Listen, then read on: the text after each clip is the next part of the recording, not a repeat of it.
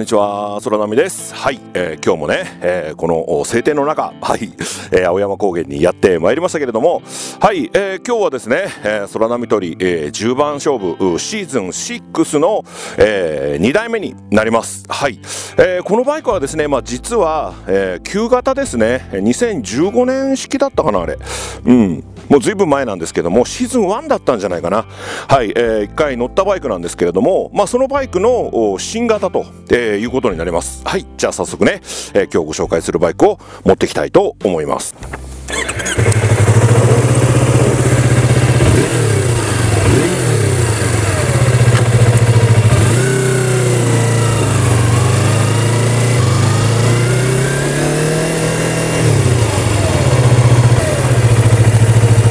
はい、えー、今日ご紹介いたしますのは、えー、ヤマハの YZF-R25 はい2019年型ですね、えー、早速はい、えー、サイドビューから見ていきたいと思うんですけれどもやっぱりね、えー、かっこいいですね。おしゃれですね。まあ、うん、ちょっと前にね、えー、忍者の250こちらをご紹介させていただいたんですけども忍者の250もねやっぱりこう相当かっこいいなというふうには、えー、思ったんですけれども、え、改めてこの R25 を見るとですねやっぱ りヤマハかっこいいなっていうふうに改めて思いますね。うんまあね実際ねこうフロントマスクの部分って、えー、こうなんていうのかなあのー、前のね旧型空波が前に乗った2015年型の、えー、旧型、えー、あれの方がねちょっとこうエッジが効いててね、えー、かっこいいかなっていうふうに、えー、思うんですけれどもまあちょっとこの新型に関してはねのっぺりしてるかなという印象もね実はこう写真で見た時には、えー、思ってたんですね、えー、それはやっぱり写真を撮る時って、ー、こういったようなこう水平の角度で撮るからだと思うんですよ。やっぱりこうちょっとなんか、えー、真ん中のこうダクトの部分がこう口みたいな感じでね。なんかちょっとこう間抜けな魚みたいな顔してるよね、うん、でどうかなと思ったんですけど実際ねこれ見てみると、えー、こう人間の視線って、えー、こういう感じじゃないですか。うん、こういう感じで見てみると、えー、やっぱりあこれはこう立った時に見た時にねこう考えられてるデザインなのかなというふうに思いますね、えー、上から見下ろす視線だとねやっぱりちょっとかなりかっこいいなって思います、うん、で、えー、前回空波が乗った時の、まあ、R25 は、え、あれはね、え、フォークが成立だったかな。はい、え、なんですけれども、え、こちらは倒立フォークに今度新型の方は変わってますね。うん。まあその辺が変わっているのと、ええー、やっぱりちょっと、えー、ポジションがね、え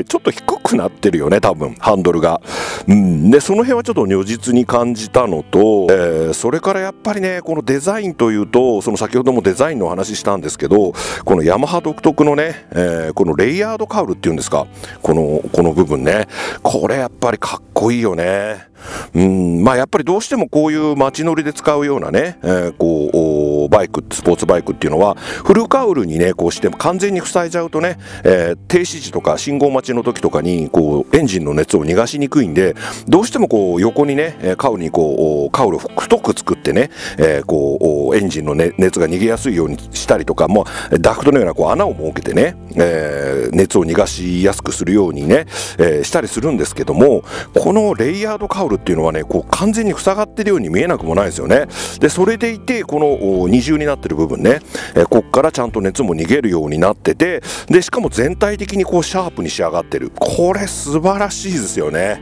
うんまあエンジンもね、えー、とかこうラジエーターの部分っていうのもこう横からだとなかなか見えないですよねまあちゃんとそういう部分っていうのはこうきっちりとこう隠して、うん、で全体的にこうシルエットをねシャープに仕上げてるというところやっぱりデザインのヤマハだなっていうのはこれ改めて思います。でこういったところもね、えー、おしゃれですよね。はいまあやっぱりかっこいいね。う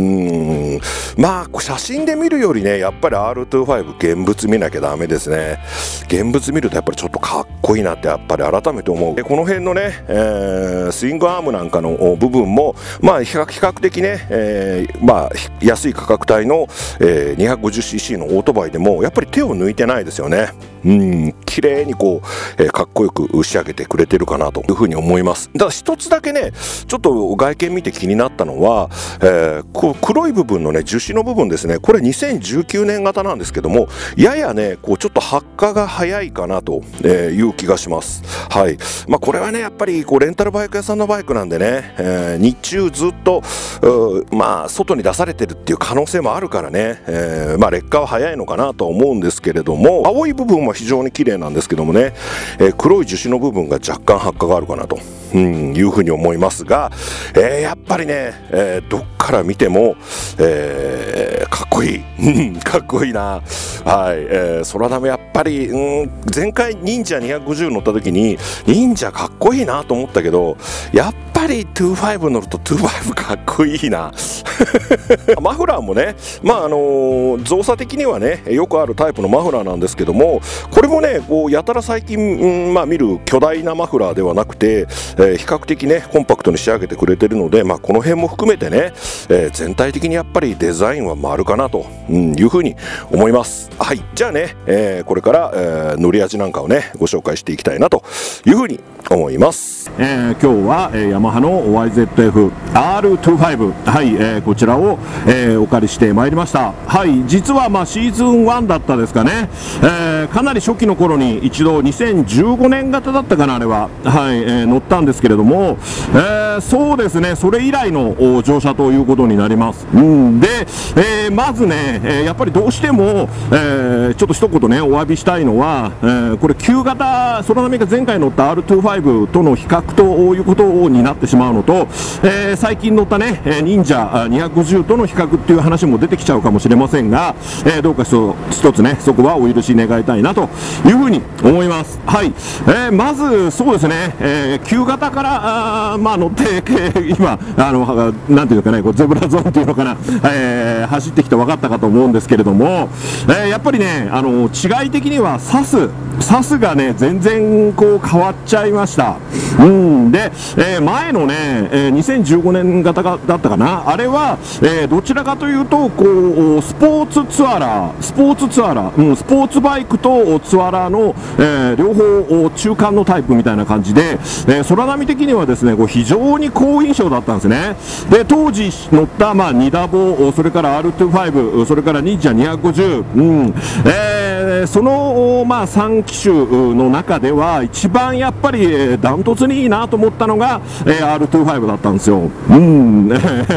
でね今回のねこの2019年型に乗ってみて非常に思ったのは、えー、だいぶその足回りは戦闘的になりましたね。うんまあどうだろうなどっちかというと今まではこうスポーツバイクとこうツアラーのバイクの、えー、まあ中間あたりを攻めていたというのがどちらかというと、えー、そうですね。スポーツバイクとまあ SS はい、えー、そちらの方にどっちかっていうとこう片足を突っ込んでいるような、うん、そんな感じなんですよ。であの、えー、正直ねあのコーナーリングとか、まあえ、カーブでは非常に良くなったような気がします。うんしろそのサーキットを走るためとか、えそういったような形でのこう倒立フォークのセッティングというよりは、えどちらかというとワインディングをね、えこう楽しく走れると、うん、いうようなセッティングになっているのかして、え前回乗った R25 よりもだいぶその、まあ、カーブが楽しい、はい、それはもう如実に感じました、えここに来るまでの間、えまあ、いつものね青山高原の上り七曲がりの大阪の辺り、えー、おそらくいつもね、えー、まあシリーズ音っていうかね、えエンジンのね、まあ、排気音を、え撮ってるシリーズがあるんですが、え最近撮った中では多分一番楽しそうに走ってたんじゃないかなと思います。はい。本当に楽しかった。うん。まあ、ただね、えー、そうですね、それに引き換えになったのが、やっぱりこのサスの硬さからくるゴツゴツ感ですね。えー、先ほども声がちょっとゼブラゾーンで、えー、揺れましたけれども、うそうですね、スポーツ走行寄りになったという分、えツアラーとしての性質は若干影を薄めてしまったのかなという感じはありますね。で、そうですね。ポジション的にもどうだろう？これハンドル。だいぶちょっと下がった気がしますね。うん。でどう？2センチぐらいかな？旧型からすると。そのぐらいは下がってるような気がします。1センチってことはないねこれ。結構下がってるし。でそのせいもあるのかして、えー、ステップの位置もねちょっとなんかねあのー、前よりも足が窮屈なんだよね。うん。なんで、えー、ツアラーとしての性質的には若干、うん、まあ進路を変更したのかなというような感じがあります。で、えー、まあ確かにね、えー、そう考えると最近こう R25 に乗ってる、えー、女性のライダーの方が多いっていうのもなんとなくこううなずけますね。体が小柄な人だとこれちょうどいいのかなっていうような、えー、気がします。うんでそうですね。特にこう前輪のね、えー、前のサス、まあ、後ろも硬いんだけど 僕これインドネシア生産だっけ？やっぱり。後ろも硬いんだけど前がねすごくこう、えー、がっちりした、うん、がっちりした感じはあるんですけれども、えー、本当にそのなんていうのかな、えー、サーキットで走るのはこう鉄板のようにかっちり固まってるっていう感じではなくてこれとこのなんかトップリッチがねこれなんかちょっとこう網のようになってますけど、えー、そういうようなところもあってかしてこうなんとなくですけれどもうん勝ちゆるっていうかねあのそんなような感じで、うん、まあこのサーキットとか走るっていう以外の仕様でじゃあ、えー、なんていうのかな気持ちよく使えないかとツーリングで気持ちよく使えないのかと、え、言われればそうでもないです、うん、まあただツアラーとしての性質っていうかそういったようなものはあの旧型のタイプよりかは、えー、何を潜めておるんですけれどもまあその分、えー、ワインディングを走ったりとかね、えー、そういったようなあこう用途に使うっていう分には、え、楽しさがだいぶね、え、上がったかなと。うんいうふうに思います。でエンジンが、えー、これあれ前は36じゃなかったかな。ちょっと記憶が定かではないんだけど今のこれ見ると35馬力で1馬力ダウンしてますね、これはあれかな排ガス規制のせいかもしれませんけれども、うんまあ、それはね全く全然感じさせないのと相変わらずエンジンは、えー、35馬力ながらですね、えー、本当に元気よく気持ちよく綺麗に回っていくっていうか素直に回っていくというか、うん、この辺本当にね、えー、まあ空波的的には、そうですね、えー、MT-03、うんえー、のエンジンと比べるとどうかというと、やっぱりね、そこはちょっと、うん、あのたたかだか 50cc の差で何か変わるのって言われるかもしれないですけど、やっぱり楽しさの度合い的には、えー、MT-03 のエンジンの方が、えー、僕は楽しかったので、うん、そうですね、これも R25 ではなくて、えー、車検とかいう問題がね、もしないんだとしたら、えー、R3 を選ぶと、うん、いうのも一つつの選択肢かなというふうにね、えー、思います。はい、でエンジンはとにかく元気で、まあ、7000回転ぐらいかな、えー、ちょっと落としてみましょうか。